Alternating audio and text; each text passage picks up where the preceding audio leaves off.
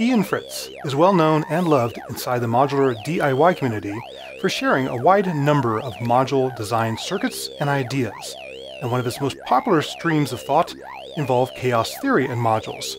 Several companies, including Elby Designs, Nonlinear Circuits, and Random Source, have turned his circuits into modules that you can buy, or of course, you can go ahead and build the circuits from scratch. One of his earliest designs in this area is the Chaos Generator Quadrature Oscillator, or ChaQuO. I call it Chaco for short. It combines two modules, a quadrature LFO with sine wave outputs at every 90 degrees, and also a second order chaos generator circuit. The two are normaled together, and you can also override that normaling through the drive connector. In this first video, I want to discuss how this chaos circuit works and really break down its parameters, controlling just one simple thing on a synthesizer, filter cutoff. And then in the next video, we're going to talk about using two and three dimensions of its outputs to control more complex sound generators, such as this 2HP Vowel you hear in the background right now. Now, when a lot of people hear the term chaos, they assume something that's random or completely out of control. But that's not true when it comes to chaos theory. A chaotic circuit is actually something that is somewhat in control. It stays within certain boundaries. Chaos circuits tend to be based on things that are oscillating in feedback, like a filter in feedback. The difference is there's some non-linear element in that feedback path that's making sure that what comes out of the feedback is not the same as what goes into it. And that's what causes the oscillations to go off the rails, to create some interesting patterns. For example, I've redone our patch here just to get a sawtooth wave from the Moog. And as opposed to a simple periodic oscillation, like this sine wave, or oscillator, the quadrature oscillator, the output of this chaotic circuit sounds like this.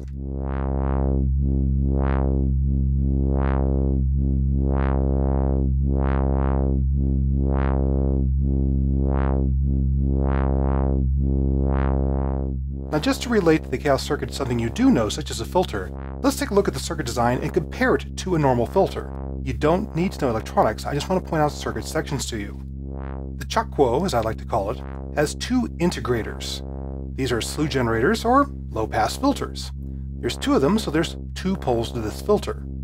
The feedback path has this pair of diodes in it.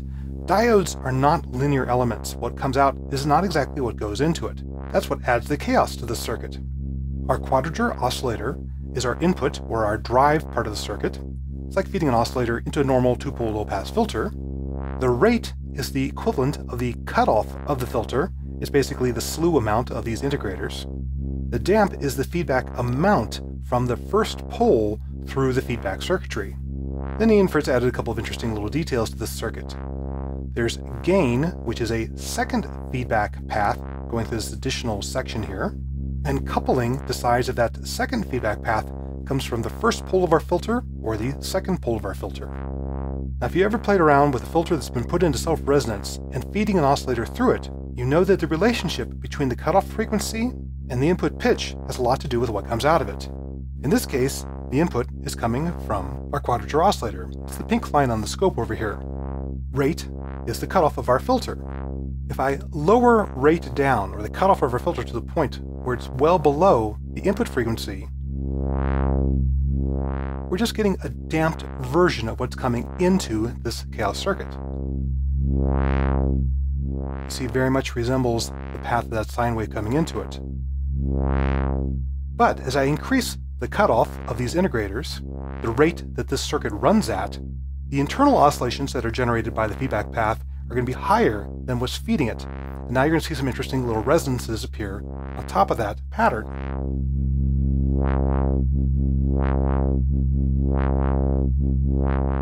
The tuning relationship between these two has a lot to do with that final waveform. You're almost getting beat frequencies between the two here.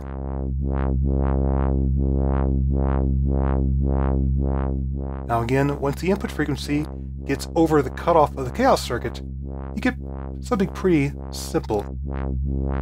But when you get them somewhat similar, or you make the rate, the cutoff of the chaos circuit, to be higher than the incoming pitch, then you start getting more interesting waveforms.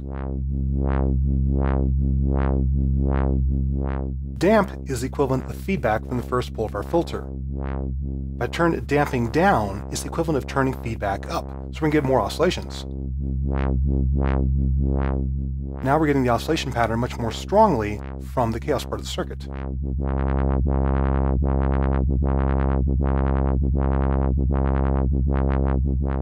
As I increase damp, that's the same as turning down the feedback in this particular circuit, and we're going to have less of those resonant warbles.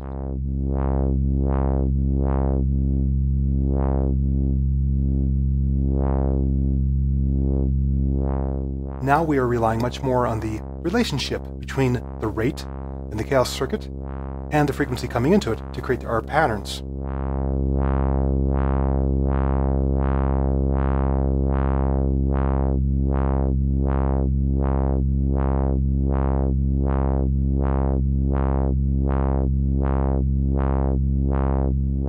I'll decrease the damping and let the rate and the feedback run a little more wild.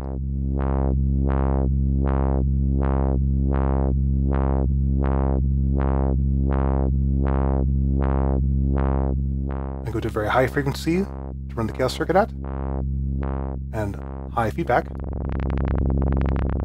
And now the feedback path in the chaos circuit takes over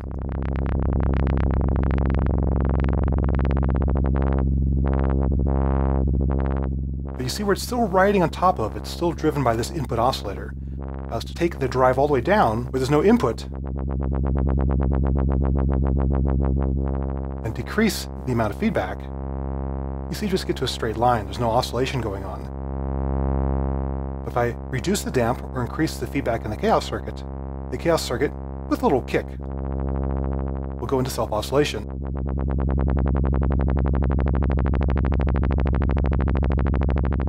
And then we'll bring up the level of the oscillator coming into it, start mixing in with that.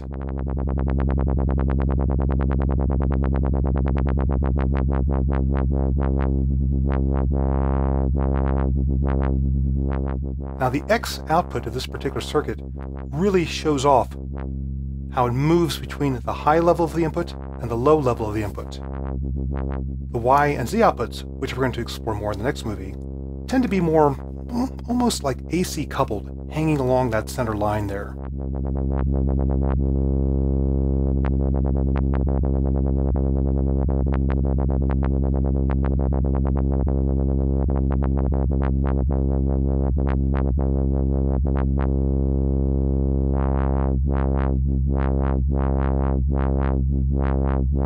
Now, I've been using coupling and gain at the default settings recommended by Ian Fritz. This is just to simplify things initially. The gain is like a second feedback path that reacts a bit differently than damp does. For example, if I reduce it, the circuit will actually run away to its upper and lower limits.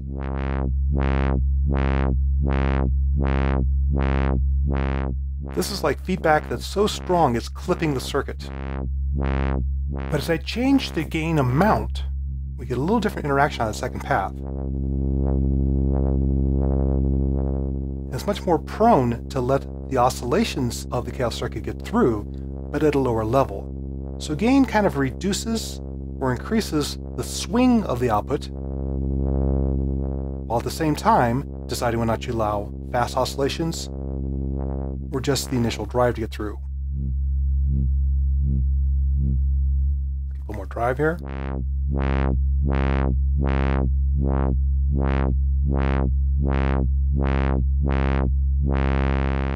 it's up at the high level. So Chaos Circuits can kind of hit the rails, as they say, in one direction or the other. Changing the gain amount will get it off those rails. Play around with the frequencies a little bit. Get a little bit of beat going on between the two here. Notice whenever you change a parameter, the circuit basically has to reset into a new equilibrium.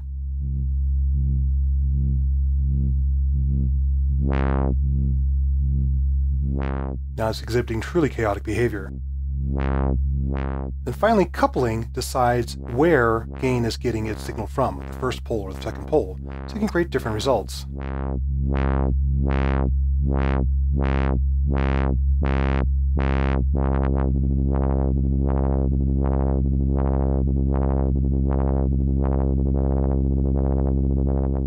Then change the coupling.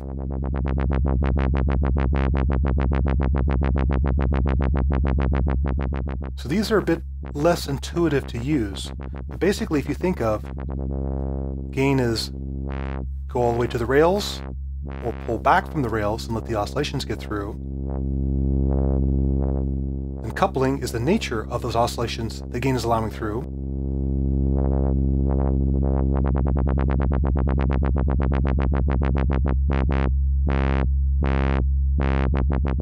It's interesting how if you drive it hard enough, it goes back to following that input frequency. Cool. And that's just one output from the ChaQuO. The real fun comes if you have something that benefits from having multiple parameters changed at once, such as wave, shape, and cutoff, or a couple parameters in a modeling synthesizer, such as this vowel. So that's what we'll play with in the next movie.